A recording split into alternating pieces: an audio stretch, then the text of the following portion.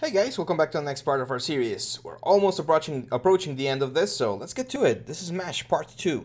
So, uh, we're back here in Maya, this is a new scene, and I want to show you another of the cool things about MASH. We're going to talk about uh, dynamics now. Dynamics is one of the very cool things that MASH has.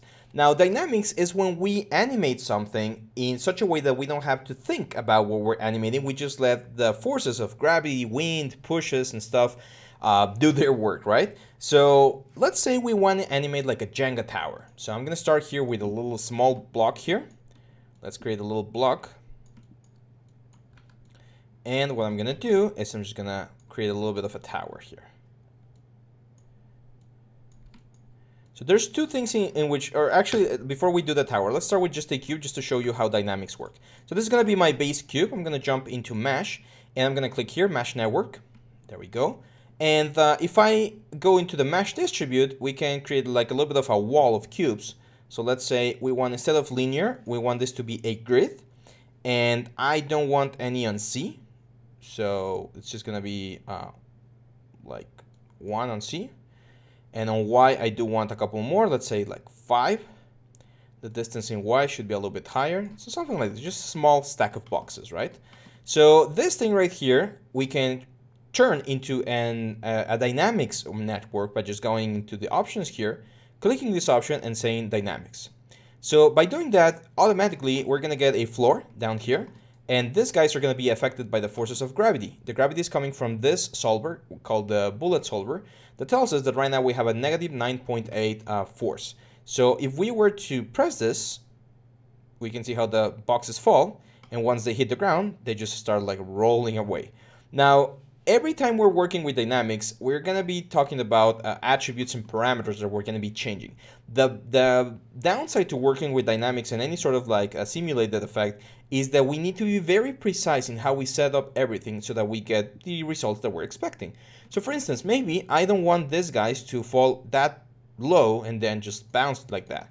So I'm going to go here onto my uh, bullet solver and there's this option here called uh, the the ground, you can see that the position is minus 20. Let's say minus 5. That way, the, the things are just going to fall a little bit. Whoop. Let's see. There we go. So they just fall a little bit there, and they just stand there. They're, they're not going to slide or anything because there's not enough force to, to really push them, right? Now, the cool thing about this is that this is, again, dynamic. So if I were to go back to the MASH distribute and say, hey, you know what? I, I thought about it, and now I do want a couple more boxes here with maybe a little bit of a less less distance or more distance, whatever works for me, I can now see what's going to happen when all of these boxes go into this uh, array. So very, very cool, right?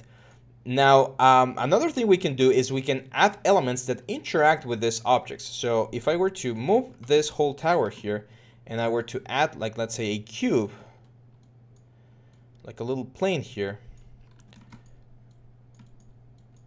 let's say something like this. Let's rotate it so that it's, it's an obstacle pretty much. What I can do now is I can just grab this guy, go into the bullet solver, middle mouse drag and drop here in the collider objects, and now this object, this cube that I just created, is going to create a collision with all of these objects, and look at what happens now. Pretty cool, right? Now the only issue here, as you can see, is that all of the cubes are falling and kind of like sliding as if there was like oil or, or, soap or something. That's because the, the objects here on the MASH dynamics have very little friction. So I'm going to increase the friction and that's going to allow it to stay a little bit closer to the center. As you can see, they don't slide as much because the friction is not allowing them to slide. We also have the, um, the damping here that we can increase. That's also going to reduce some of the movement. As you can see, the, the simulation is going to be way, way uh, like way more solid. Now, this also appears back here in the bullet solver. So the, the floor itself actually has friction. So let's increase the friction on the, on the floor. That way, when these things fall, they pretty much remain on the same uh, position, the same place. They're not gonna slide anymore. And you can let this animation run its course as long as you want. Maya is gonna start calculating what's happening throughout the whole thing. So dynamics are really really cool again because they, they will allow us to create this certain uh, elements that would be a little bit difficult to um, to do in, in a manual way. Like if we would try to manually animate each of these cubes falling and stuff, it would be very, very difficult. Now, sometimes I'd like to increase the, the gravity all the way to like minus 98. This is a little bit closer to, oop, let's go here, minus 98. This is a little bit closer to Earth's gravity. So you're gonna see that the things fall in a very nice way. The only problem is that it's so strong that it, it's it's trying to push through the ground and, and we're getting this. Uh, we can of course reduce the bounce on the floor and if we go into the repro mesh here we can also reduce the bounce. Let's see if that helps. Not really, it, it's just that the gravity is way way too strong. So uh, I'm just gonna have to like bring it bring it back to minus 9.8. There we go. So it, it, it kind of looks like they're falling in slow motion. It, it's not like if they were falling in the real world, but uh, again, you can see it, it's pretty, pretty cool. Now that's not only the, that, that's not the only thing. We can actually add more objects that interact with the, with the elements in a, in a more dynamic way. So let's imagine, let's, let's add more cubes. Hopefully this doesn't break my computer. You definitely do need a little bit more memory than, than usual for, for this kind of thing. So the more, the more cubes you're, you're animating, the, the more intense this is going to be for your computer. Uh, I'm going to create a sphere. And I'm just going to make the sphere go from down here in a very fast way. Let's say after the cubes are kind of settled, like frame 80. In a very fast way, the sphere is just going to like bloop, go all the way up. And again, we can actually hide the sphere. We don't need to see the sphere. And as long as we add this to the to the bullet solver with middle mouse and drag into here, it should affect the cubes. Let's see. Boom. There we go. Now, the only problem with, with movements that are really fast is that you're going to need a little bit more uh, collision iterations here. So I'm going to increase this to 20. That's pretty much telling the thing that I, I wanted to really, really analyze what's going on so that we get the best possible uh, effect. Another way to, to make this example a little bit easier to, to visualize is, of course, if we go to the sphere and we make the movement a little bit slower so that we give a little bit more time for the process to actually analyze what's going on. There we go. See that? Very cool, right? So um, MASH networks are really, really nice because as you can see, we get this very, very cool uh, effect. Now, um, let's build a little bit of a tower. So what I'm going to do here is I'm going to delete all of this.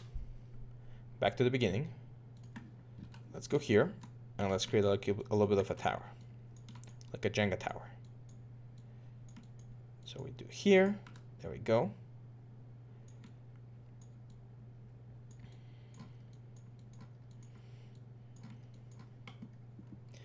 And I am gonna um, make this a MASH network. So MASH network. You can see that we uh, hit the original cube. We're gonna go back to a grid distribution. There we go. It's gonna be three by three, that's fine. And we want this to be quite high, so let's add like, yeah, four, let's, let's do five floors. And no, no on, no elements on Z, just, just the, that one. So I'm gonna increase the space here because what I'm going to do is I am going to duplicate this guy. I'm going to duplicate the network. I'm going to have a separate MASH network. And now this new network, what I'm going to do is I'm going to use a transform node inside of the network to move the whole network into a different position. So if I grab this um, transform node right here, I can say, you know what, I want to move you on the y-axis 10 units up. That's way too much. Let's say two units up. That's too little. One unit up. There we go. One unit is fine. And then I want to rotate the whole thing on the y-axis 90 degrees. So as you can see, we get this very nice effect where we're creating the little tower, but we're doing it with two MASH networks. This is just one way to do it. There's always uh, more ways to do it. Now let's say 0.5 on X, probably 1 on X or 1.5. I want to align this as close as possible to the original. There we go. And then on Z, it's 2.5 as well, or minus 2.5. There we go. Now on each of these guys, I'm going to add a dynamics node. It's the same bullet solver for both of them. That's that's good. Like we don't have several bullet solvers, just one solver, and each uh, network has its own element. Let's move the position of the floor to like minus five again. And if we hit play, you can see that the whole tower just goes and, and assembles itself in very, very nicely, right? Uh, we can, of course, go to each of the dynamics here. Let's increase the friction for both of them to like 0.5. There we go. So now the, the blocks shouldn't slide as much. And we just built a small Lego tower that is ready to be destroyed with like a sphere or something. So let's go again here with a sphere. Let's go with a big sphere right here. We're gonna go, let's say here, and then just like bloop, move the whole thing.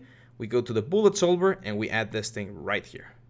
And now we hit play, the tower falls, and a couple frames later, this thing just like rolls through it and, and destroys the whole element, creating this very nice pile of effect.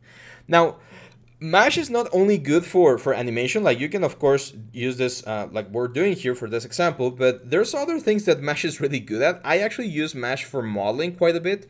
Uh, if I'm doing like a lot of rubble and stuff, this destruction allows me to create like very random things very fast. So let's say you want to add just like bricks laying all over the place, you can use a MASH network like this and create an animation until you get something that looks destroyed and nice, and then you just once you have something that you like, for instance, let's say like I like this thing, like getting exploded like this, just grab both repro meshes and control D, duplicate them, and these guys are a completely new geometry that's not attached to the to the actual like element here.